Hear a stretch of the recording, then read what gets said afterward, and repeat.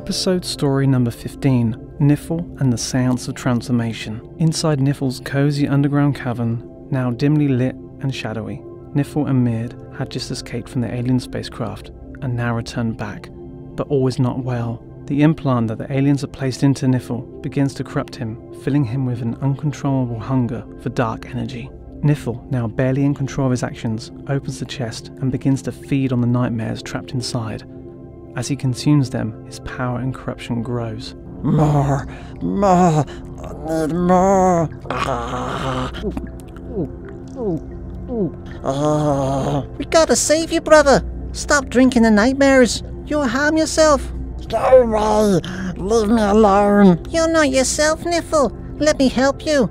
You need help. And with that thought, a subtle blast of white light energy ripples through the cavern, making the moonstone amulet given to Niffle by Luna. The moonstone suddenly starts to vibrate and glow, causing it to drop to the floor and roll down to the cavern's basement below, which slowly lands to Niffle's foot. It catches his eye. Driven by his uncontrollable hunger, he picks it up. It glows bright as he consumes it, Oh, num nums. in return sending a distress call to Luna on the Earth plane.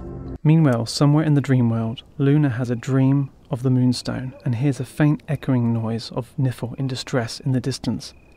She wakes up immediately, walks over to a box of charms located in her drawer, and takes a good look at the moonstone. Physically, there is nothing to be seen, but energetically, the moonstone has an urgent vibration to it, which she immediately senses. She knows something is wrong. Niffle boy, are you in trouble? I must help you, little one. Luna prepares to enter the dream state, making an astral tea, then going back to her bed. Closing her eyes, her body falls peacefully asleep, entering the dream world. She calls through the dream world, trying to locate Niffle. She doesn't know where to look, but holds the energy of the moonstone firmly in her hand to help guide her. Niffle?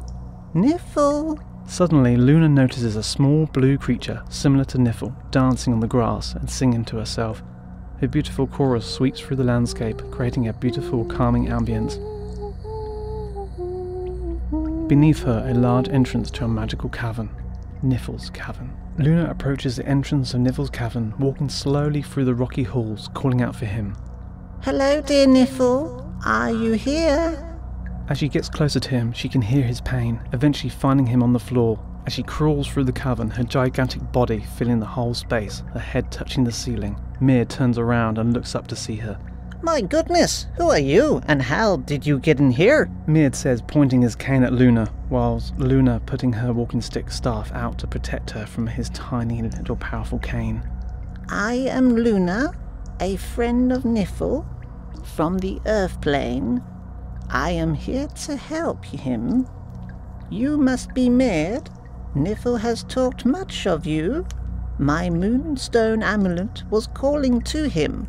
Mid takes off his hat and bows to Luna. Good to meet you, ma'am.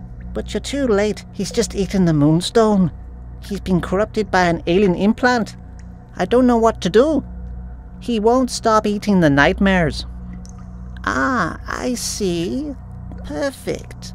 That's what the moonstone was meant to do to be a protective stone.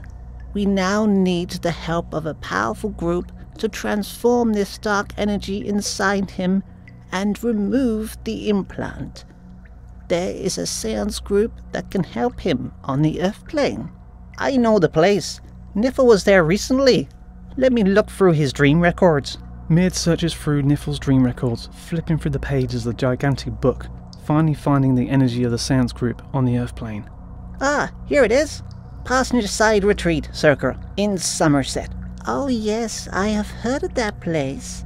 I will do my best to contact them and go and visit. Aye, when you do, and you are ready, just say my name three times and I shall appear. Why, thank you, Maid. I will be in touch. May it be. Good luck, Luna. We're gonna need it. He says, putting his hat to his chest and closing his eyes. And with that thought, Luna dissolves from the cavern, leaving a spark of white light mist behind, simultaneously waking up in her bed. With the wisdom and guidance of Luna and the determination of Mird, the Dreamweaver, a plan was set in motion to save Niffle from his dark transformation. What will Mird and Luna do to save the threat of Niffle's darkness? The answers lie in the days yet to come.